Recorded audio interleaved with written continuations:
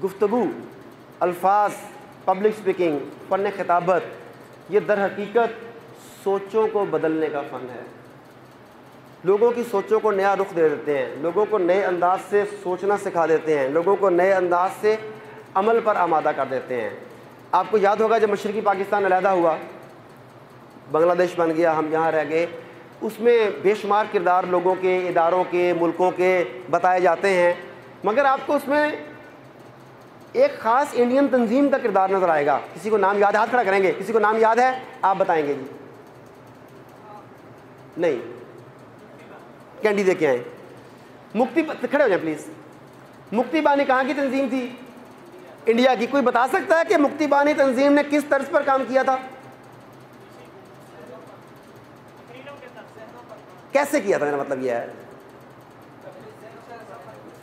दो कैंडियाँ दे के आए। तशरीफ़ रखें। अब आए कहाँ से? यकदम बाहर से और कैंडी लेके चले गए। कहाँ अच्छा यहाँ बैठे हुए थे आप। उन्होंने कराम का रूप धारा, स्कूलों, कॉलेजों, यूनिवर्सिटियों में जहन साजी करनी शुरू की। लोगों के जहनों को तबाह बर्बाद करना शुरू किया, तकरीब करना शुरू किया। वो सोचें जो एक की सोचें थी, वो सोचें जो मोहब्बत की सोचें थी, उन्हें बताना शुरू किया कि वहाँ के लोग तो तुम्हें खा गए। उनकी उधर के मतलब बाद में लीडर ने बयान दिया कि मुझे इस्लामाबाद की सड़कों से पटसन की खुशबू आती है। ये नहीं, हमारा सारा मवाद यहाँ पे लग रहा है आके। इस तरह की और बेशुमार चीज़ें। उन्होंने सबसे पहले जहन बदले। जहन बदलने के बाद आपस में फासले पैदा किए गए। जब फासले पैदा हो गए, सोचें बदल गई तो उसके बाद मुल्क बदल गए। यही हुआ ना? तो अगर उन इस कराम के ज़रिए, अब पता नहीं उनकी इज़्ज़त करनी चाहिए साजा तो थे अपने साजा कराम कहना भी चाहिए करीब मैं खुद कन्फ्यूज़ हूँ बहरहाल। अगर उन लोगों के ने, जिन्होंने इस का रूप धारा लोगों के दिलों में नफरत का बीज बोया, भाई को भाई से लड़वा दिया। अगर ये मुमकिन था तो क्या इन इस कराम के साथ ये मुमकिन नहीं कि दोबारा से दिलों को जोड़ा जा सके? हमारे अंदर जो बेशुमार प्रॉब्लम्स हैं, इस मुल्क में वतन अज़ीज़ में, उन्हें ख़त्म किया जा सके, नई नस्ल को इस तरीके से तैयार किया जा सके कि नफ़रतों के बीज ख़त्म करके, मोहब्बतों के पौधे लगाए जाएँ। क्या ये मुमकिन है? अगर हमने देखा कि दुश्मन ने यह किया तो क्या हम नहीं कर सकते? सोचों को बदला जा सकता है कि नहीं बदला जा सकता? मगर बदला जा नहीं रहा। उसकी वजह यह है कि हम अल्फाज से ही सिलेक्ट नहीं करते। चंद मुहावरे बताता हूँ। कितने लोगों को थोड़ी थोड़ी इंग्लिश आती है? थोड़ी थोड़ी गुड ये तो कमाल कर दिया आपने ए टू जी आती है। कितने लोगों को उर्दू ठीक आती है? कितने लोगों को अरबी आती है? पश्तो? बस ठीक है, सारी ज़ुबान नहीं है। मुहावरा है। बाप बड़ा ना भैया सबसे बड़ा रुपया। इस मुहावरे का जरा मतलब बताइए क्या है? बाप बड़ा ना भैया सबसे बड़ा रुपया। जी। दोनों को एक एक कंडी दे दें इन्हें भी और इन्हें भी। अच्छा अब आपको एक बारी बारी चलूँगा ना। अच्छा अब सबक दिया गया मुहावरे के ज़रिए कि सबसे अहम क्या है? आप तरबियत कर रहे हैं अपनी नस्ल की, ये मुहावरे स्कूलों की किताबों में भी लिखे हुए हैं। आगे चलें। ज़रूरत के वक्त गधे को भी बाप बनाना पड़ता है। नहीं तो नहीं, ये लाइन पूरी हो चुकी है इनकी बारी है। ज़रूरत के वक्त गधे को भी बाप बनाना पड़ता है। जी, खड़े हुए। आप पीछे, वो ब्लैक पगड़ी वाले, जी।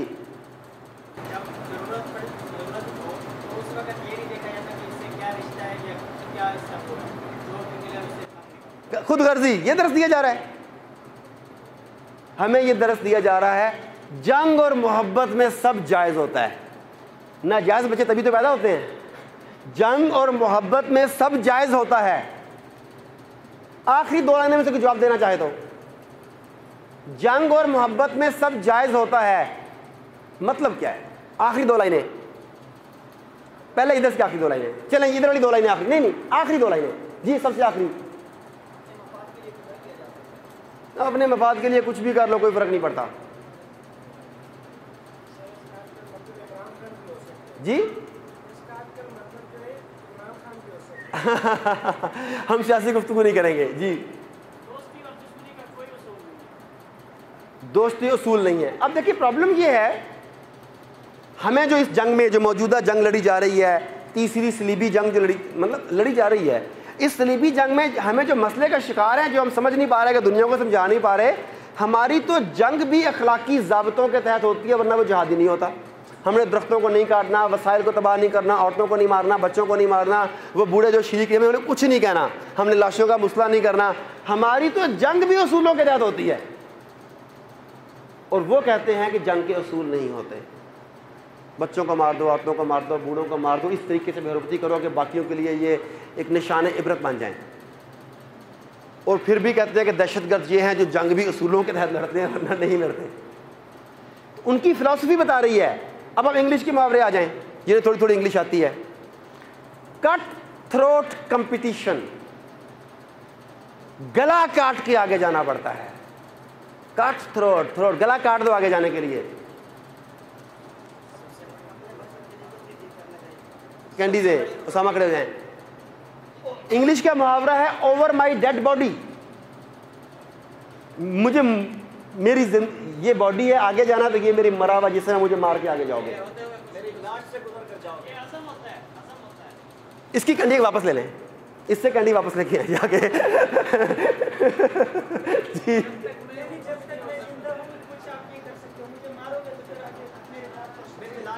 मेरी लाश से, यानी कि इस हद तक आप उसके मैसेज ये दे रहे हैं। जी, कोई अच्छा अब मैंने चंद मुहावरे आपको बताए हैं। चंद, अब ज़रा मुझे एक पश्तो का, एक अरबी का, एक उर्दू का, इन तीनों में तो महारत है आपको। और अगर हो सके तो एक इंग्लिश का। मुझे उस ज़ुबान का एक मुहावरा और तर्जमा बताइए, जिसमें गलत दरस दिया जा रहा है। बाहर वो मुहावरा है, मगर दरस उसका गलत दिया जा रहा है। उसका मतलब गलत निकल रहा है। जी, आप बताएँगे, किस ज़ुबान में बताएँगे? उर्दू में बताएँगे, जी। इनसे भी कैंडी वापस ले लेकर इनके पास है तो। यही तो मैंने बताया था सबसे पहले। नया बताया वापस कर दे मज़ाक कर रहा हूँ इनकी कैंडी वापस कर दे जी ने नया नया नया ये तो बताया है। कैंडी दें जी इतने दुखी थे आप। जी। पैसा फेंक तमाशा देख। दुनिया पैसे दी। जी? जी।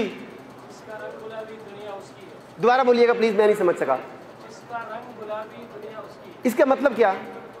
हुसन और शबाब?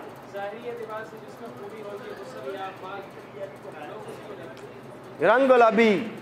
जी, चेहरा किताबी। जिसकी लाठी, उसकी भैंस, ताकत का कानून है। ये हुई ना बात। पश्तो का नहीं आया, अरबी का नहीं आया? वाह। अब इसका तर्जमा भी बताएँगे आप।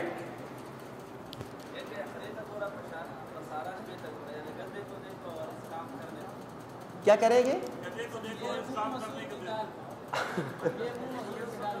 ये मुँह और मसूर की दाल, इसमें मतलब गलत क्या है?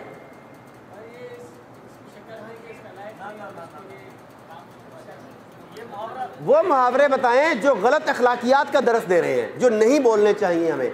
वो मुहावरे जानना चाह रहा हूँ। ये तो अच्छा है कि भाई तुझे क्या क्या नाइंसाफ़ी का आलम है कि चोर कोतवाल को मतलब है, ये तो तंजिया है। वो मुहावरा जिस तरह आपने कहा कि ज़रूरत के वक्त गधे को बाप बनाना पड़ता है, वो गलत दरस दे रहा है। वो दरस गलत कौन से मुहावरे दे रहे हैं? आता हूँ। ये तो अच्छा अच्छी बात है, ये तो। मतलब बताएँ, मुझे नहीं आता। जी? मतलब नहीं मुझे आता ना इसका बताएँ।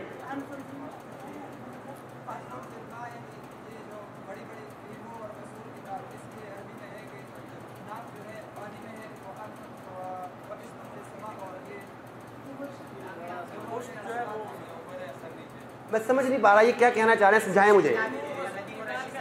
जी मुफ्ती साहब ज़रा समझाएँ ये क्या कहना चाह रहे हैं?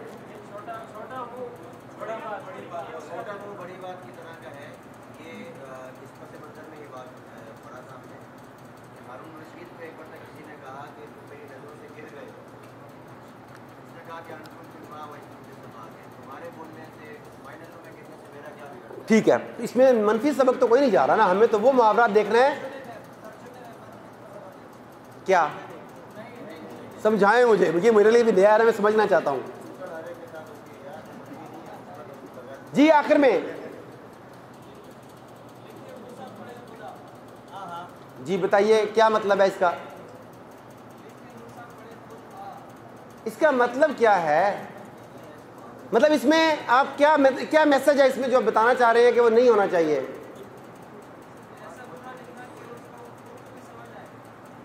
इससे लोगों को गलत अखलाकी तरबियत क्या हो रही है उनकी? इस मुहावरे से लोगों की गलत तरबियत क्या हो रही है?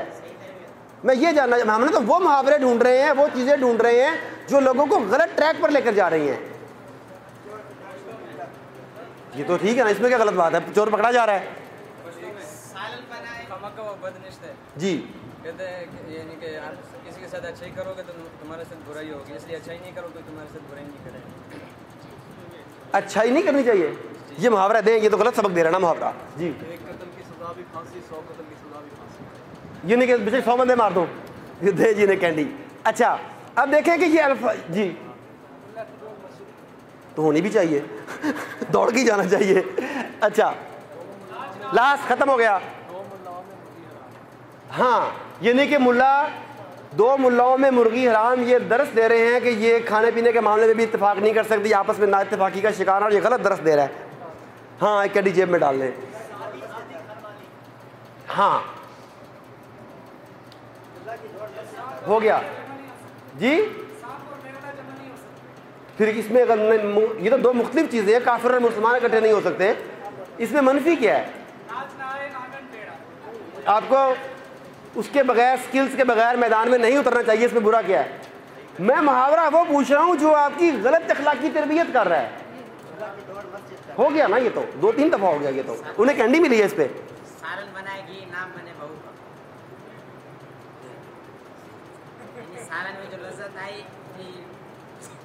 आप क्यों इतना बेगम और सास के झगड़ों से तंग आए हुए हैं? इनका इलाज करना पड़ेगा जी मुफ्ती साहब इन्हें भी दम करें कोई तवीज़ दे इन्हें। दम करना किस किस को आता है? दम करना किस किस को आता है? ओके, मेरा छोटा बेटा है, चार साल की उम्र में कमाल का दम करता था, नाक में। अच्छा। हंसना हंसाना ट्रेनिंग का हिस्सा है मेरी असल में ना। और बाकी वो बड़ा कमाल का करता था। अब थोड़ा सा ठीक हो गया। इसी तरह, जिस तरह ये अल्फाज हैं, इसी तरह कहानियाँ हैं, जो आपको या अखलाकी तरबियत करती हैं, या अखलाकी बिगाड़ का बायस बनती हैं। सूफ़ीज़म में ऐसी बेशुमार कहानियाँ मिलती हैं जो दुनिया को छोड़ने का दरस देती हैं। लेकिन जो मैंने पढ़ा, जो मुझे पता, वो तो है कि इस्लाम इज्तमाहीत का दर्स है। मुझे तो ये पता है, पता नहीं आपको क्या पता है, मुझे जो पता है वो ये है। वहाँ पर देखते हैं कि वो ला रहबानी के तफिल इस्लाम के अगेंस्ट काफ़ी सारी चीज़ें जो है ना जो वहाँ पर मिलती हैं। उसी तरह एक वाक़ पढ़ा मैंने अपनी किसी किताब में भी लिखा है, कि एक बुज़ुर्ग ने दूसरे बुज़ुर्ग से पूछा कि ये कैसी गुजर रही है? तो वो कहते हैं कि मिल जाए तो खा लेते हैं, ना मिले तो शुक्र करते हैं। आपको ये वाक्य याद है किसी को? जिधर आप शुरू हो जाए, ताकि कैंडी के हकदार आप बने, मैं ना बनूँ।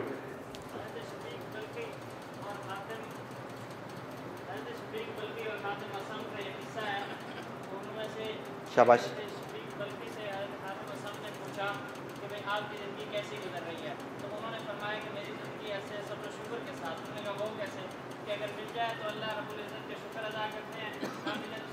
रुक जाइएगा।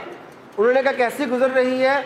उन्होंने कहा, मिल जाए तो खा लेते हैं, शुक्र करते हैं अल्लाह का। ना मिले तो सब्र करते हैं, कि नहीं है तो क्या करें? रह जाते हैं। पहला स्टेप अगला फिर दूसरा।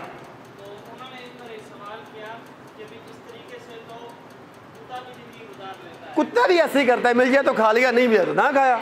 इसमें क्या बात हुई?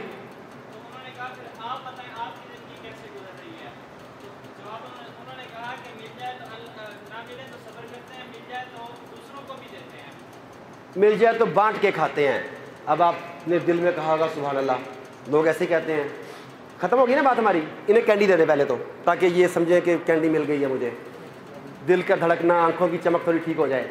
अब यहाँ से तीसरा बुज़ुर्ग आता है। खादिम आपका। जब उन्होंने कहा कि मिल जाए तो बांट के खाते हैं, ये मेरी किताब में मैंने इसे आगे लेके चला है। जब मिल जाए तो बांट के खाते हैं तो तीसरा बुज़ुर्ग आया, उसने कहा कि ऐसा तो गिद भी करते हैं। मुर्दार खोर गिद्ध जब किसी लाश को देखते हैं तो इकट्ठे नहीं झपटते, वो सारे गिद्ध इकट्ठे आते हैं और उस मुर्दार पर झपट पड़ते हैं। उसने कहा कि ना मिले तो नहीं खाते, मिल जाए तो बांट के खाते हैं कि तो गिद्ध भी करते हैं। अब उसने कहा कि बाकी बात तो ये भी ठीक है तो फिर आप क्या करते हैं? उसने कहा, पहली बात तो ये कि जब ना मिले तो कोशिश करते हैं, क्योंकि अल्लाह ताला कुरान मजीद में कहता है वो आपकी सारी कहानी में कोशिश का ज़िक्र ही नहीं है। तीसरा बुज़ुर्ग कहता है, पहले पहला अमल ठीक करो, दूसरे स्टेप पे के मिलने के बाद क्या करना है, वो तो पहली बात है। पहले पहले को ठीक करो कि उसके लिए कोशिश करनी है कि नहीं करनी, सही करनी है कि नहीं करनी तीसरे बुज़ुर्ग की बात मान लेनी चाहिए ना थोड़ी थोड़ी। तो ये कहानियों के ज़रिए, अल्फाज के ज़रिए, लतीफ़ों के ज़रिए सोचों को बदला जाता है और आपने इस फ़न में मुहारत हासिल करनी है।